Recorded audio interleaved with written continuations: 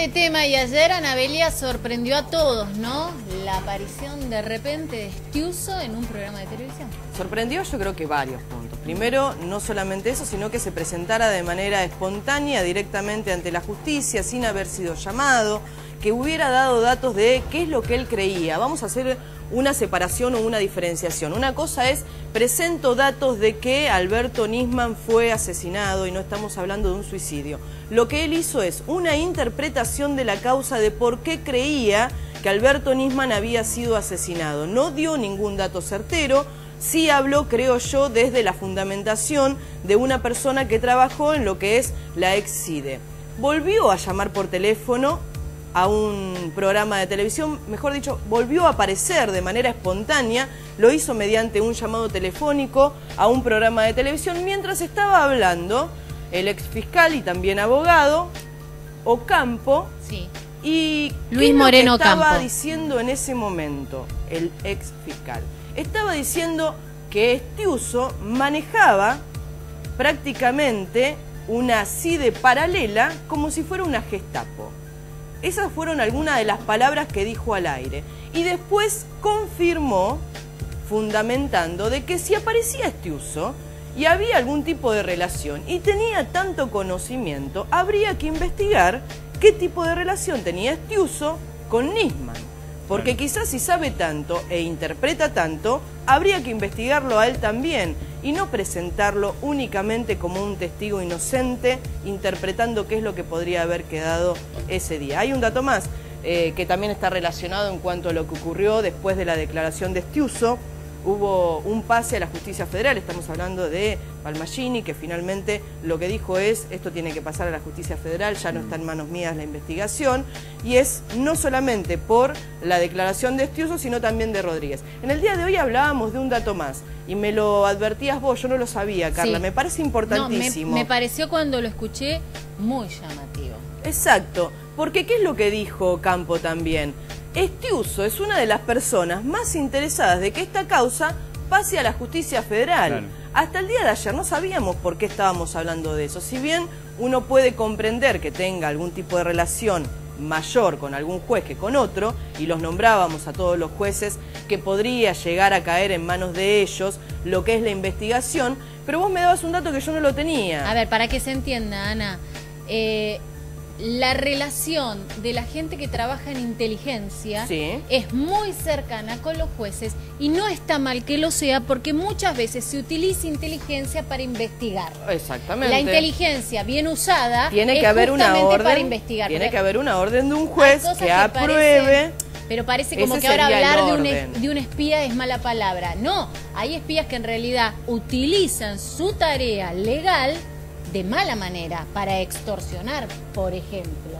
para reinvertir por Bueno, ejemplo para blanquear El dinero tema es que muchos jueces tienen una relación más cercana con esta gente que trabaja en inteligencia. Sí. El dato es que nosotros el otro día dábamos una lista de jueces federales que estaban dentro de los posibles en, En el, el sorteo. sorteo. para que la causa pase al fuero federal. Uno Sí. de esos nos llamaba la atención era Rodríguez. que no lo conocíamos Luis Rodríguez, que vos me decías, es el que está investigando el caso de aquella revista cuya tapa estaba la cara la del, tapa, del fiscal Nisman, que aparece con un balazo en la cabeza. con un punto negro digamos Que dentro de la investigación no se llegó a Se nada Esto interpretó está en el como amenazas Claro. hacia la familia. eso está en el juzgado de San Isidro Bueno, lo tiene el juez Rodríguez. Luis Rodríguez. Ahora hay un dato más que no es menor.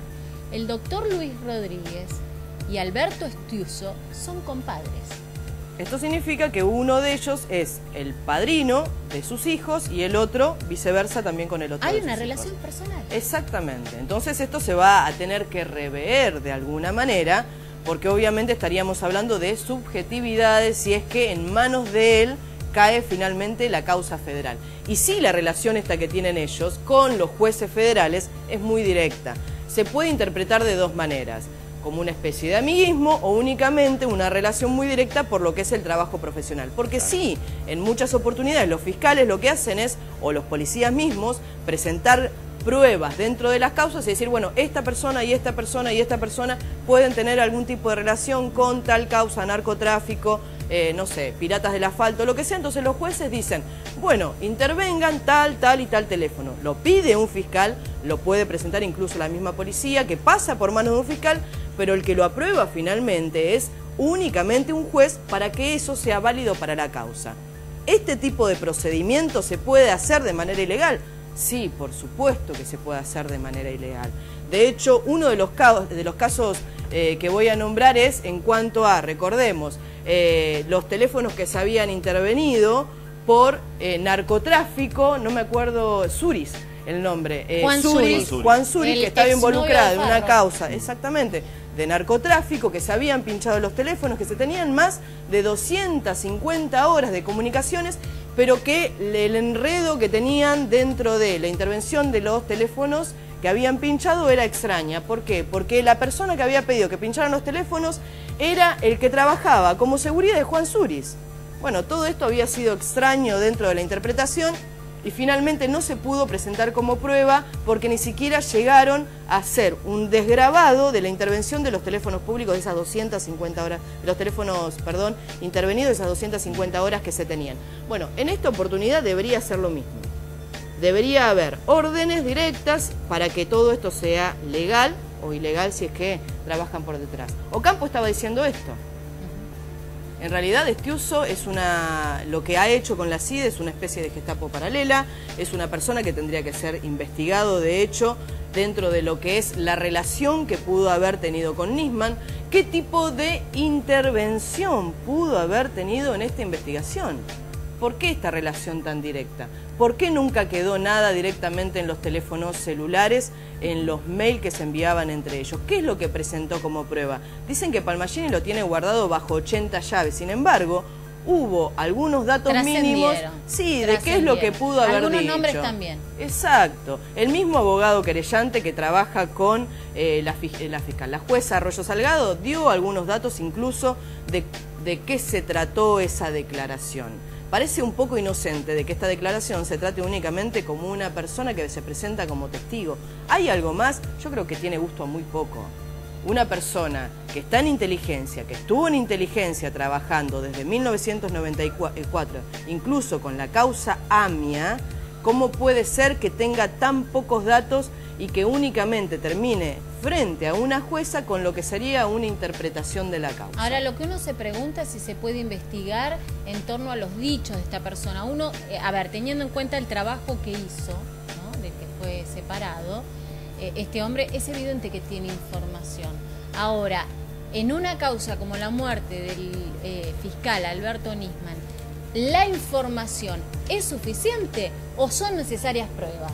Porque una cosa son los dichos de alguien que trabajó en inteligencia, que puede o no decir la verdad. A ver, me da la Pero sensación... las pruebas es otro tema. Me da la sensación a mí que eh, la interpretación que pudo haber hecho Astiuso la pudo haber hecho hoy prácticamente cualquier ciudadano común. Hablemos de qué es lo que ocurrió ese día. Bueno, también hubo un fallo de la jueza Palmagini en cuanto a los efectivos de seguridad y qué es lo que estaban haciendo. Eso fue en el día de ayer, aproximadamente a las 3 de la tarde se publicó en la página del SIG. ¿Qué es lo que decía? Eh, porque en realidad todo tiene que ver con todo. Uno de los puntos fue la declaración de Estiuso, donde ella dijo, bueno, la interpretación de Estiuso es que hubo una intervención en la computadora. Y aparte de la intervención en la computadora, también se intervinieron los teléfonos celulares. ¿Por qué digo esto? Porque al día siguiente en que aparece sin vida, hubo movimiento directamente en la computadora, por lo tanto alguien tiene que haber ingresado en esa computadora, algún hacker, alguien que tuviera eh, lo que sería eh, alguna clave de ingreso, y en los teléfonos celulares no tenían absolutamente nada, no tenían mensajes, no tenía nada que se pudiera investigar, tan solo algunas llamadas, y hablo de las llamadas porque el informe que se pidió fue a una empresa de teléfono celular, no quedó registrado absolutamente nada en los aparatos celulares de Nisman. ¿Vimos lo que pasaba ayer? ¿Qué? Yo a él no lo conozco en mi vida, ¿no? No, no lo conoce, señor. No, no, no me conoce. ¿Conoce al doctor Marcelo A? No me acuerdo. ¿Pero qué tiene que ver eso? ¿Qué tiene que ver a quien conozca yo? ¿Cuál es, el- cuál es la relación entre lo que No estamos sé. discutiendo y, y eso que usted me ¿No pregunta? se, ¿No se acuerda en la reunión? ¿Qué? La verdad que es, es como raro hablar así, ¿no? Me parece- Tiene una- ¿Será, será uso? A ver. Es como raro, es Sí. como raro que me desconozca y no, no recuerda la reunión que tuvo conmigo. No, nunca, yo no me recuerdo haber reunido con usted nunca en su vida, salvo que usted se tenga otro nombre, pero no, no recuerdo haber reunido con usted. Sé de usted por Beli, por lo que vi, la, la gestión pública, no sé de usted por- personalmente, no recuerdo. Se Y además no reunió tiene nada que conmigo ver. en el Además, café. ¿qué importaría que yo tuviera, qué importaría que yo lo conociera? ¿Cuál es el dato que usted quiere meter acá que sería relevante si yo lo conociera? No cambia nada. Si yo lo conociera, diría lo mismo que digo de usted. Me parece que es nefasta la gestión pública que usted ha hecho de acuerdo a la, información pública que tenemos sobre usted. Si usted quiere explicar cómo investigó la AMI y por qué él nombró al capitán Vergés para investigar a Tejeldín, por favor venga y explíquelo. Si usted quiere explicar cómo es que su gente detuvo gente de Entre Ríos y aparecieron en Buenos Aires y por eso está procesado del juez Galeano, venga y explíquelo. Si usted, quiere explicar cómo hizo cosas, venga y explíquelo, eso sería fenomenal. Yo todo eso ya lo expliqué. Usted eh, No sé dónde. conmigo ¿Cómo? y con Marcelo Ant pidiendo ayuda por amenazas que recibieron durante el juicio de las juntas. No, no, la verdad que no me acuerdo para nada de eso. Y además, si hubiera hecho eso, ¿no? ¿qué, qué importancia tiene? Usted fue, no, no, usted fue amenazado y vino a pedir ayuda. Eh, ¿No recuerda que me conoce? ¿Qué tiene de malo? No, no, la verdad que no, no es cierto, me parece. Y además, yo creo Ah, que no es cierto. Sí. Ah, no es cierto. No. Bueno, si No. quiere, no es cierto. Pero haga lo que quiera, a mí no me importa si yo estuve con usted o no. Es irrelevante si yo pedía no, la no FIDE sea caradura. protección. No sea caradura. Bueno, Bueno. el tema acá no es usted, señor Cuando, cuando buscaba información de corrupción y cobraba, Yo era abogado, no tenía que hacer los trabajos. ¿Quién? Y cobraba, ¿no lo recuerda? No que aportaba información al doctor Caballo. Yo trabajaba de abogado y así lo que quería. Entonces, sí, sí, sí, sí. No sea caradura.